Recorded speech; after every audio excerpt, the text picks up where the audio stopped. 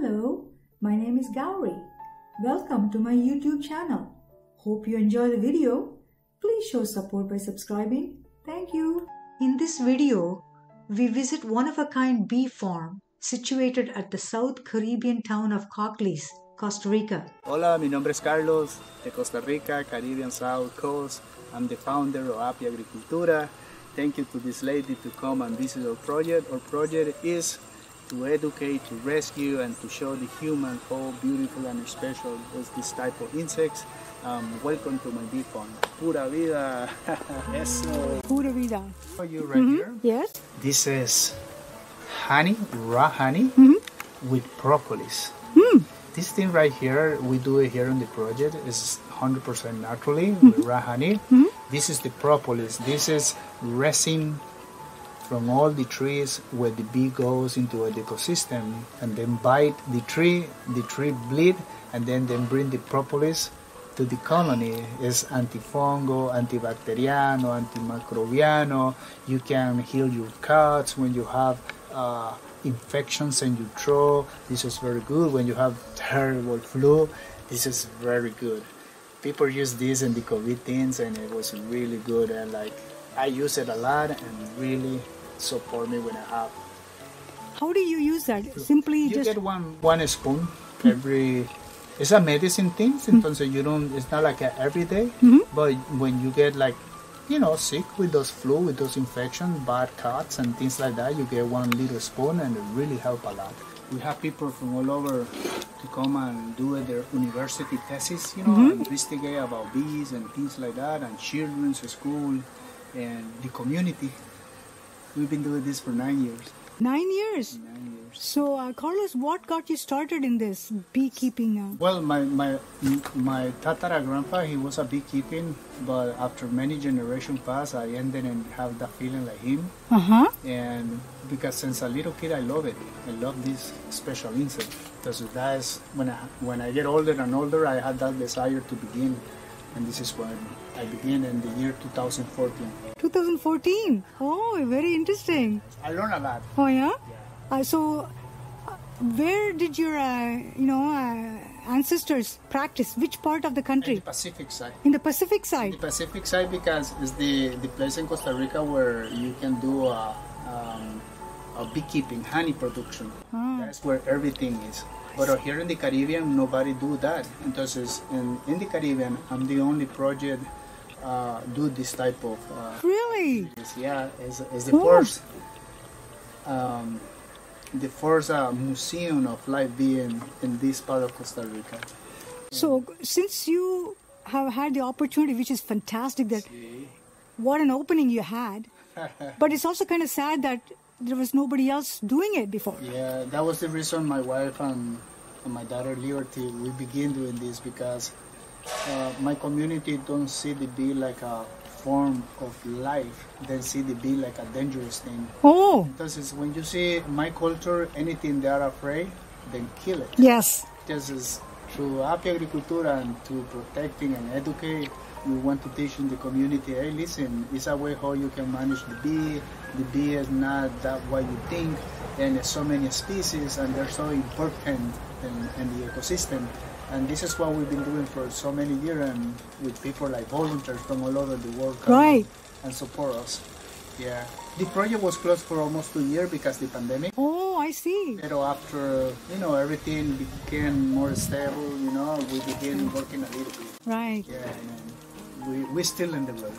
And that's, I'm so glad you're still surviving. Yeah. And uh, Carlos, since you are established here since 2014, has there been any other interest from other parties to expand on this and uh, make it a lot more viable for the world to uh, come and learn and, you know, Yeah, yeah. After, you know, we we inspire a lot of people in, in Costa Rica, and now, after nine years, we hear around Costa Rica, uh, people want to do the same thing, and I have many friends begin doing the same thing. Maybe not like the way we do, because this is a let's go say a prototype project. Yes. You know, this is a, a, a pioneer Yes, project. yes. This is it's very extensive. Yes. But I know a lot of friends.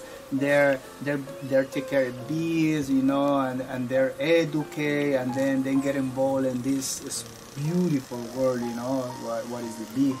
And and I know we motivate a lot of institutions to to um, to do it because uh, work uh, with many institutions. You know, Dole Standard Food Company. Yes. We teach them for five years how to protect and rescue the bee in the bananas farm. I see. And then we're working with the fire department for two years Mm-hmm. because they take care of a lot of emergency of bee a- around the Caribbean. Right. Entonces, that's why we do it this morning. We was working with them I see. to rescue the bee uh, like together. Oh yeah. Entonces, I think before before the year 2014, nobody do it that. They Hmm. kill it.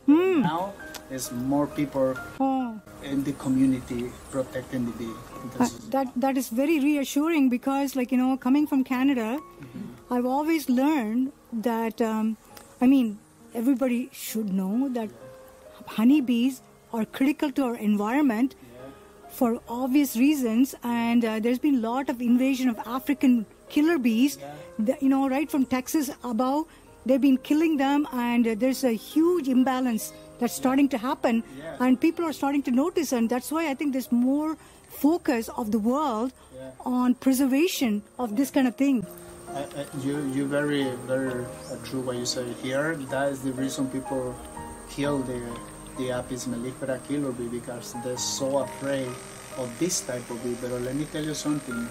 In nine years, in working with this specific uh, uh, Apis mellifera, uh, we call killer bee or African bee, man, I don't find that completely um, 100% killer bee. I find it a hybrid is mixed with the European bee and the wild bee, like the one you say African bee, and then boom, it's a new generation where they're so gentle, they're so fragile, and they're not dangerous like what people, you know, think. Entonces, through educate people through Api Agricultura, we teaching, hey, listen, it's not what you think. Look, they're so easy to manage. You just have to learn how to take care of them. And this is how we've been doing for so many years. if they want to come and volunteer uh, like i saw some people from spain and switzerland how can they apply here to come and volunteer Oh, they, they, I mean, they can write us on Instagram. Yes. We have Api Agricultura Costa Rica. Okay. That's, there's the email, there's all the information they need. They just need to write us, and, and then we answer them, right? And then, then if they're interested, you know, um, with the with the project, we uh, find the space to then come and stay with the family. We're, we are a family project. We're not an ONG or a foundation. We're just a family want to send a beautiful message to the world about how special is this type of insects and why we need to work together to protect them because without them it's no life. Uh, I think I think that's why um, it's so much more interesting and heartwarming because it is a family project. It's a family. It is not a big industries. No. No, that's why the heart is right in it. exactly there's a lot of love and passion in this. Mm-hmm. Exactly. How many volunteers currently do you have, Carlos? Well, we, we try to working maximum three a month, and that is a perfect amount of volunteers to to because if we do it too much, it's, it's, it's more difficult to them to learn, and because we like family, we want to connect with them, we want to spend a lot of time with them, and we want to teach them, you know, and make them part of our life. Entonces, this is the reason with three volunteers among. This is perfect for the family, for the project, and for the bee. That sounds good. We, we prefer three. Uh, so, any special kind of educational background they should have before they come and apply for volunteerism? Yes, so one of the very important, good question, baby. Thank you. One, uh, one of the, let's say, um, rules uh, will be they're not allergic Mm. to the bee. Of course. that would be something else. Yeah, we expose a lot of, you know, Yeah, oh yeah. And the second option, they don't have like bad criminals, you know. Oh, yes. They need to be a good Yeah. behaviors. And another thing, uh, in the property is not allowed to drink, not allowed to smoke, uh, because it's, we have children. Mm. Yes. uh, you are with a family. Yes. And, and it's very poor. Uh, that type of things. Right. The volunteer now. But they have the option to, they want to go to the village, they want to drink a beer, they want to, you know, Party, yeah. It's, it's welcome. Outside. Yeah, outside. But Yeah. in the property, Yeah. it's, it's a very disciplined area. Right. It's more to educate, work, and Right. be like a And you need to have that because Yes. of the extreme importance of what you're doing. Yeah. You have to have a very disciplined code of conduct. Yes, and you have to especially here you see mamas, papas, and children's school institutions uh, come all the time because we, we need that structure uh, very strict. About the bee itself, uh, just in two or three sentences, uh, in a day, what time they actually start to be more active and what happens throughout the day and when do they start to become inactive? It's a really nice question, and I spend a lot of time in look the bee. And when I say look at look the bee, is I wake up like four in the morning, four thirty in the morning, just when you see that dark mix with the day, and even before that, already a special group of bee are outside in the colony. And why? This is the one this is the group of the colony go outside in the ecosystem to see where the pollen and where the honey is and then this group of the bee come inside of the colony and and send the message to a special other group and this is the one like five in the morning. Before that they're already into the into the rainforest. But this is just a short time of the morning because very early to 12 1 o'clock in the morning it, the activity stopped. And this i find now that because you could see all the beehives of the bee uh, uh, go around the colony and, and go around the beehive and you see so much amounts of bee in the outside entry and then in the morning you don't see no one just after midday you see a lot of bees come back to the to the family to the to the house right Right. entonces this is like from the morning to half of the day you you see a lot of activities and then and then, then from from that time to the afternoon they're just chilling yeah. Just chilling. we see that Yeah, siesta time. People want to uh, because they don't have the time or the, uh, you know, um, the resource to come and uh, volunteer physically. How can they help you economically? Well, I mean, they, they could do a lot of stuff. They can sponsor, let's go say, the rescue. Then let's go say every every month, then donate whatever they want. We have the information, the bank accounts information, and every time we will go rescue and we bring this colony, this colony will have her name and and like that we send videos and we share videos and uh, we appreciate to the videos uh, what these people are doing in Costa Rica for for bee rescues. Because this is another way they can fit if they're not physical in the project, but they know they are supporting a project to this project to go rescue and protect them. Exactly, because I mean, volunteering is great. That's one fifty percent of it, and then there's a whole larger aspect of the economy. Yes. The, um, especially with pandemia, you must have suffered economically because of the lack of, like you said, sponsorship. Yeah, we, we, we lose the sponsor uh, after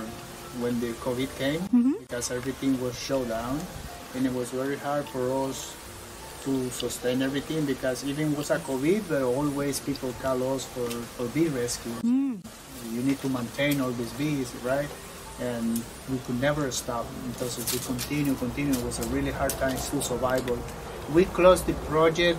When I say we closed the project, that means we stopped rescuing bees. We started going and do presentations, and it was really sad for us because we knew people was killed them, and there's no chance that we go. Yeah. But uh, begin now, and we little by little opening, and volunteers start to show up again. You know, a lot of people want to come to Costa Rica to to have experience with a slug, with a monkey, with all these animals, right? But it's very different when when people say, okay, I'm gonna go to Costa Rica to protect bee or to rescue bee. Like people mm, don't accept those projects too much, or, or like, the, the, "Ooh, I'm afraid," you know, maybe I'm allergic, maybe I'm gonna die, maybe this and that. And thus it is a bit different between a, a rescue project for bee and a rescue center for animals. Yes. These ones are very popular. People want Yes, to go there. yes. But this is something we learned through the year, but uh, we never give up. We continue and continue and continue. And I know every person come to our projects because they love the bee, and that's unique. yes, That's yes, unique. yes, that's very unique. Yeah, so we love it. To more people come and, and support the project and learn about these Yeah. beautiful things what we do here in, in the South or Caribbean coast. You're welcome and thank you so much. And if you have more questions, for sure, I'm here. Thank you so much, Carlos. Pura vida. Pura vida, take care. Okay, thank you. Yes. Hi, I hope you enjoyed the video. See you next time.